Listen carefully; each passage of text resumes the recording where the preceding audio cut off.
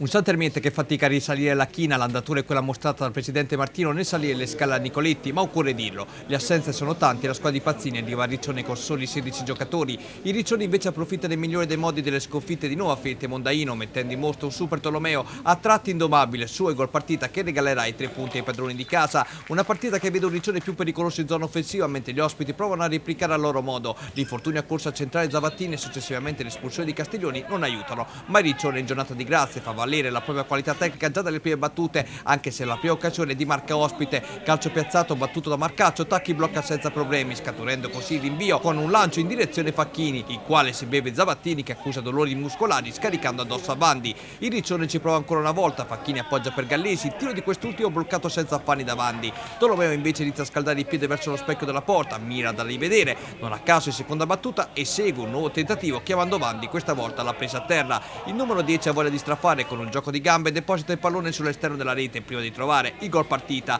Rimessa laterale, pallone sporcato da un paio di compagni, per ultimo da Facchini e Tolomeo in acrobazia non perdona trovando il gol dei tre punti. Tutta la gioia meritata con dedica personale e supporters riccionesi che da inizio partita hanno applaudito le sue giocate. Una caso i compagni ringraziano e Repre ci mostra nuovamente la perla eseguita da classe 1981. Il Riccione vorrebbe già chiudere la gara poco dopo quando Giannetti chiama la respinta Vandi, il quale per sventare un pallone malamente colpito viene scaraventato dentro la rete da Facchini. Per Mario di Cesena si tratta di calcio di punizione.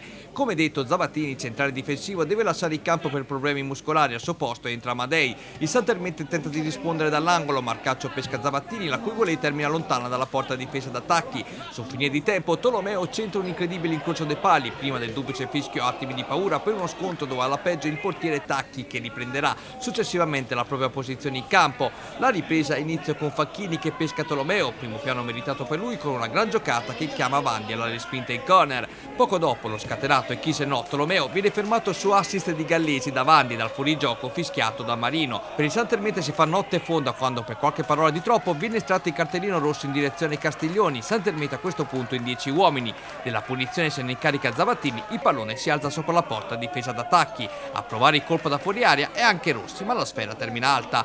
Dalla distanza Ricci pesca Facchini, l'attaccante volontariamente riesce a servire Tolomeo che ha il tempo di concludere ma Vandi si fa trovare pronto.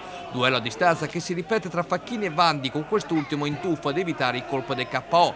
Nel finale il neoentrato Bontempi prova la mezza girata, Vandi c'è e il Santermite si accende tutto d'un tratto con questo lancio a cercare Molari, sul quale Tacchi fa buona guardia per poi ripetersi su questa discesa di Gentile bloccando la sfera.